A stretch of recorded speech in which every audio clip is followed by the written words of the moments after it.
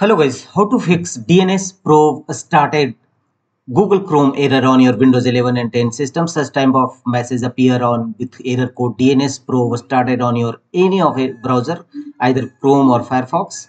Then to fix this issue, the first workaround is go to control panel of your system and here look for network and sharing center.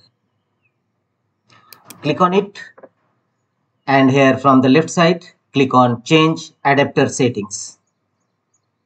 Click on it and here all your network profile will appear. Here right click on your network current network profile and choose properties.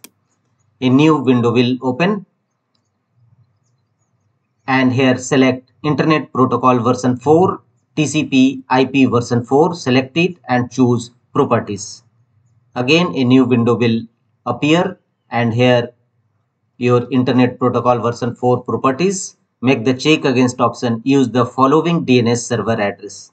And under preferred dns server type 8888 and alternate dns server should be 8844 and finally click on ok and check whether your dns probe uh, started error fixed or not in google chrome or firefox.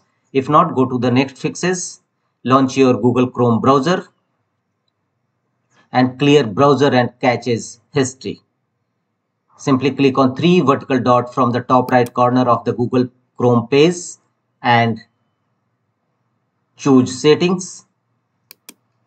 From the left side, click on privacy and security and here you will find the option clear browsing data clear history cookies caches and sites data click on it choose advanced and make the check against option browsing history, download history, cookies and other site data and cached images and files and click on clear data.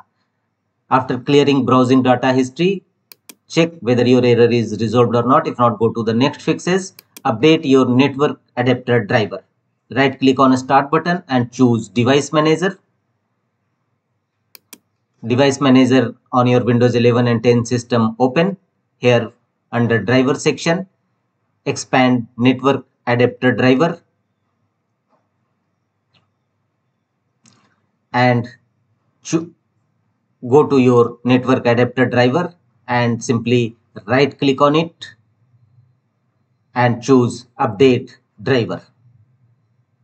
If updating here choose search automatically for driver and let the window update the pro, uh, driver. If updating driver not resolved the issue, then simply reinstall your network adapter driver.